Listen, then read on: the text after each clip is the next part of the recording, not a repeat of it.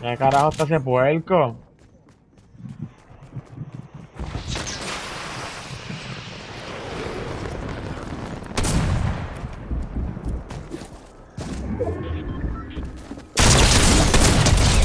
Diablo, qué clase borra, cabrón. Me dio esta pena.